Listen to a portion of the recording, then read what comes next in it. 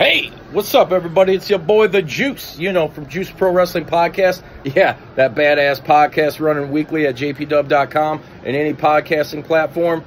In the studio, it's a hot summer day. I had to grab me a cool, refreshing Coors Banquet beer, baby. Oh, yeah.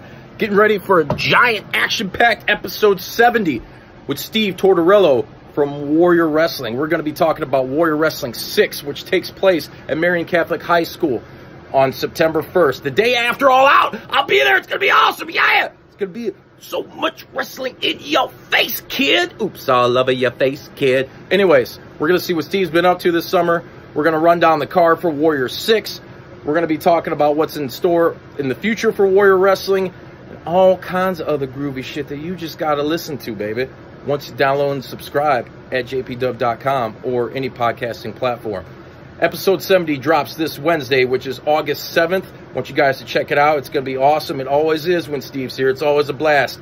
Get your tickets for warriorwrestling.net and be sure to wad 'em up, wad 'em up, wad 'em up.